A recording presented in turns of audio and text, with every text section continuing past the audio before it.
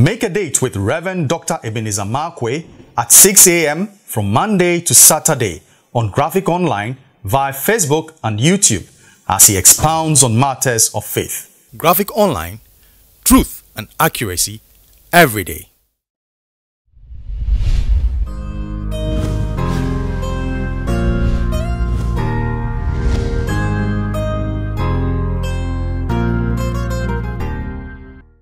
My name is Reverend Dr. Ebenezer Markwei of Living Streams International, bringing you uh, matters of faith on Graphic Online.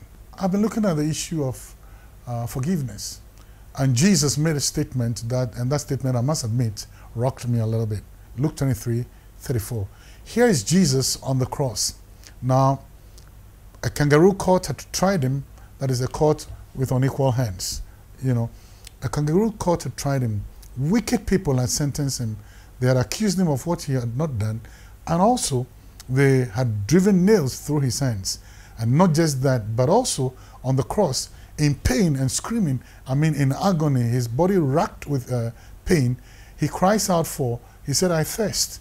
And they gave him vinegar and a sponge. Then Jesus looks at all of them with the mockery, the pain, and everything that he was going through. And then Jesus said a prayer to, to God. And to be honest with you, I'm not too sure that I have reached that stage yet. Because if I were Jesus on the cross, I would have said a lot of things. God punish you. May God reward you. May God do this. May God do that. Because why are you inflicting this pain, an undeserved pain, upon me? A crime I had not committed, and yet you're treating me this way. My body will be filled with pain, my mind will be filled with anguish, and of course, my tongue and my lips are going to utter judgment and condemnation. But look at what Jesus did. He said a prayer. He said, Father, forgive them, for they don't know what they are doing. Oh, wait a minute. Father, forgive them, for they don't know what they are doing. What are you saying? That the people who were killing Jesus didn't know what they were doing? That the people who went to trial and accused them wrongly didn't know what they were doing? Are you trying to tell me that they were not aware of what they were doing right? The reasons why people do things against you, that hurts. It's number one, out of malice. Number two, out of offense. And number three, out of uh, wickedness, spiritual wickedness. And then number four, out of ignorance. And the Bible says, Jesus said, the, the high priest, those who did it, they did it out of malice and wicked, determined, conscientious effort. Pontius Pilate and Herod knew he was not guilty. So they did it for the sake of preserving, for the sake of profit for them. And the people who were nailing him, I mean, there was malice there. There was all these things there. But yet Jesus summarized everybody's attitude towards him and said, Father, forgive them, for they don't know what they are doing. You know one thing? Sometimes people do what they do against you. They don't know. They, they, they, don't have all the facts.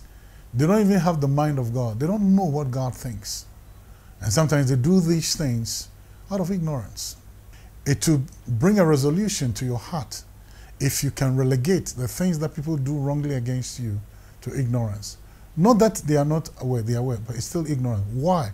Because they are not ignorant, they are ignorant of the intentions of God. Why? Because they don't know the plan of God. Why? Because they are serving other people's purposes. So Jesus said, Father, you know, forgive them, for they don't know what they are doing. Let me just say this. Forgiveness is a decision you make.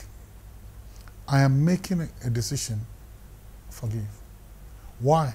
Because I don't want to carry the load or the burden of unforgiveness around. It is very important for me because forgiveness to err is human and to forgive is divine.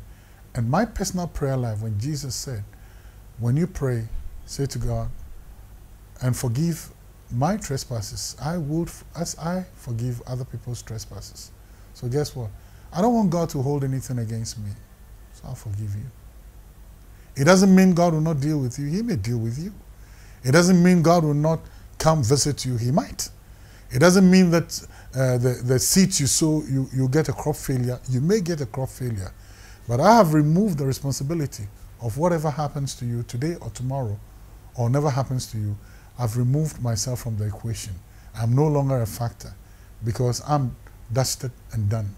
I closed the chapter and I moved on. So it is in your interest.